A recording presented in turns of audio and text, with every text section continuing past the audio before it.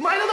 うも前田岩尾です。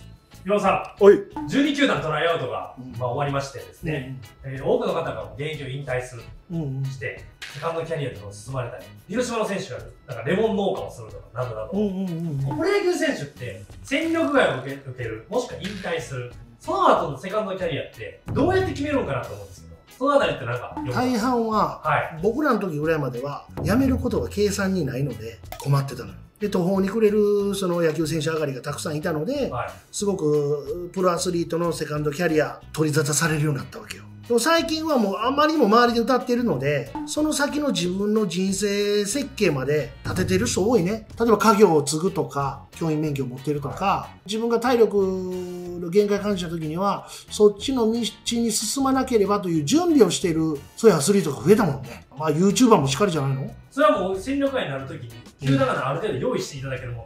いやー、これがね、まあそこで、まあ人望も関係あるでしょ、はい。あの人の性格もあると思うし、はい。球団フロントに残って、こういう役割を与えたときに、彼の野球人としての持ち味がもっと発揮できるんじゃないかとか、そういうのもフロントの人は見てるから、よくフロントに残りましたとか、コミュニティ入りましたとかいういいるでしょ？は選手やってる時に、その人の能力をしっかりもう捉えてるんやろうね。コーチとかの出し方はどう？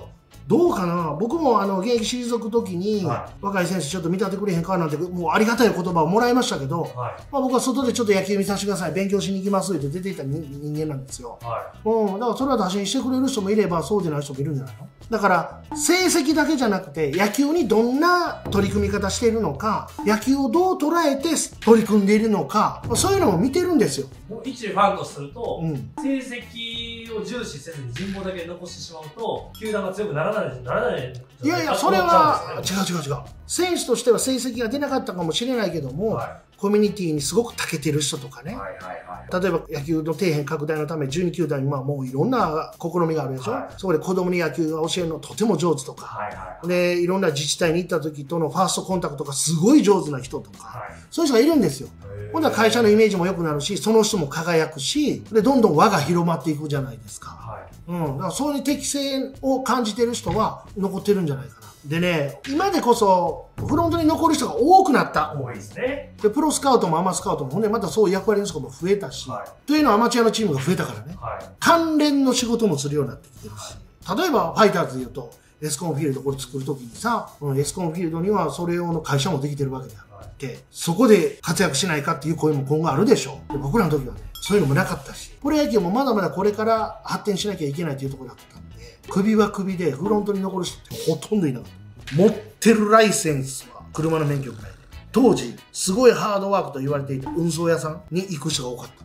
よく僕ランニングとかしてたらブボンって鳴らせるから見たら「ああガンちゃん頑張ってるね」っていう先輩とかいたよ。運送のトラック乗って。でプポンって鳴らすから「よんさーい!」がパッて見たらまあ役所勤めになったんやろね。ゴミ収集車ドライバーとしてもうねじれ鉢巻きのもうタオルギャー巻いて「うわー頑張ってますね」って「お前も頑張ってんな!」とか言うて声かけたこともあるわ。そうやって車の免許を生かしてる人が多かったの。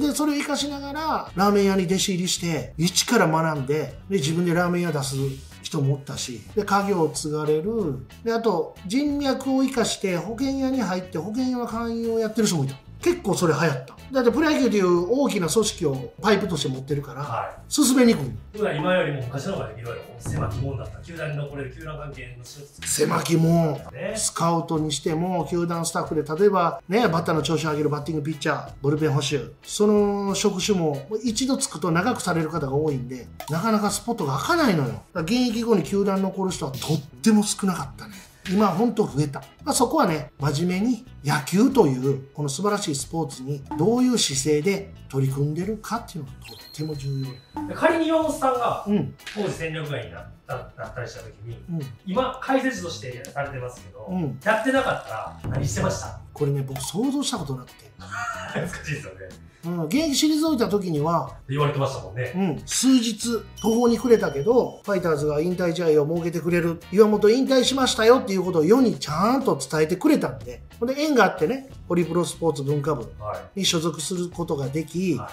相談しながらどんな活動をしようかっていうのをサポートしてもらって進むことができたんだけど、はい。は僕は運が良かったと思う。で運が良かったのはもうパ・リーグの人気をでファイターズの人気をと思ってマイクパフォーマンスしてたことが、はい。まあ、そういう人たちの記憶にあってガンちゃん一緒に活動しようかっていう声かけられたんだけどもだからそれは野球にどうやって取り組んでたかっていうこともそこに反映されてるわけでしょ、はいはいはい。なかなかですよ想像もできないぐらいってことですよね、でも。想像できない例えば、球団によって、東京の球団の方が、そういう部分でもいろんな人脈が、仕事が多いとか。